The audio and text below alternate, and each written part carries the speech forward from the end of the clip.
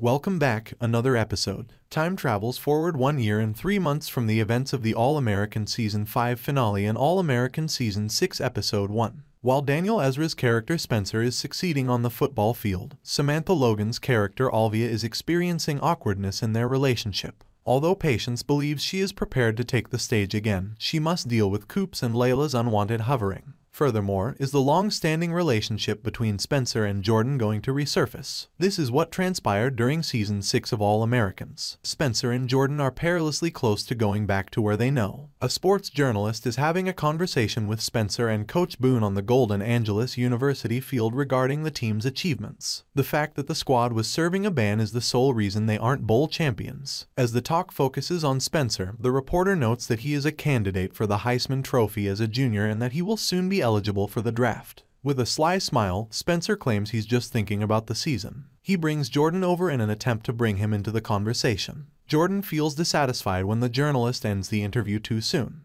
Jordan observes from the locker room as Boone summons Spencer to his office. Jordan quips sarcastically to a fellow player that Spencer acts like he's the only reason the squad succeeds. The athlete jokes that Jordan is Tito and Spencer is Michael Jackson. Regarding Spencer, the coach notes that during practice, he appeared disinterested. Spencer accuses the reporters of being present, but Boone mentions Olivia's impending return. Boone cautions Spencer not to let Olivia be a distraction.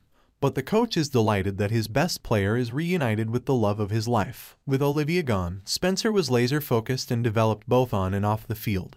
Boone doesn't want Spencer to throw away all of this hard work. In the beach house kitchen, Asher is taking care of infant AJ like a father figure. Nia Horcher's character, Jamie, enters the room dressed and prepared for work. She's nervous about her new job, but Asher reassures her that everything will work out and promises to drop the baby off at daycare. Coop, Layla, and Patience arrive at the Baker residence with flowers to assist Spencer in setting up the home for Olivia's surprise welcome home celebration. Spencer makes light of the fact that he intended to finish decorating today in order to attend Layla's new club's grand opening, where Patience will be making her stage debut following her stabbing. An item on TV news interrupts the group's discourse. The video footage of Miko stabbing Patience at the Baker residence was handled by unauthorized persons. The prosecution's case against Miko will therefore be a she said versus she said case, and the tape cannot be utilized in it. According to a legal expert, Patience's character will probably be attacked by the defense. Spencer is criticized by Coop for not wanting to spend time alone with Olivia. He claims that Spencer is arranging a party rather than spending time alone with Olivia, and he wants Laura to accompany him to the airport so they can pick her up.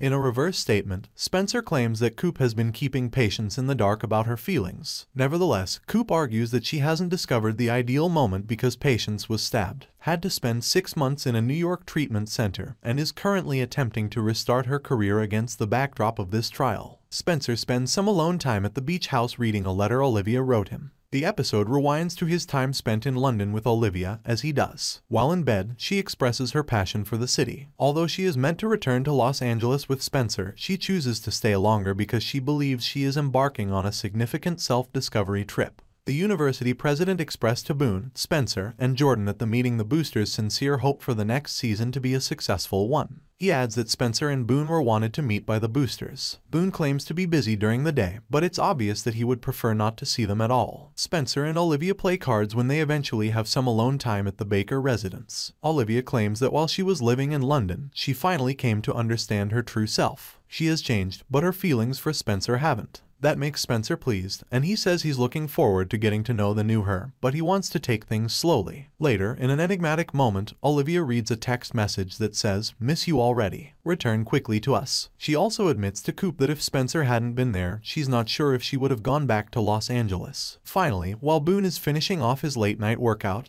the university president and a visitor disturb him. Although the president expresses his wish that Boone had met with supporters sooner, Boone's new coaching analyst will be an unidentified individual. The news doesn't excite Boone. Additionally, the new analyst makes it clear that he is there to assist Boone in utilizing Jordan, rather than Spencer, as his greatest asset. For more videos, subscribe.